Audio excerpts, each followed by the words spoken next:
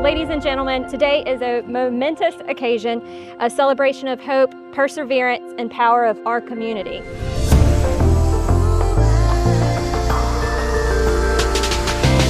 As we gather for this groundbreaking ceremony, we stand on the brink of a new chapter. Together, we eagerly anticipate the day that we can open our doors and welcome those in need to this home. A home where compassion meets purpose and where every individual is empowered to reach their fullest potential.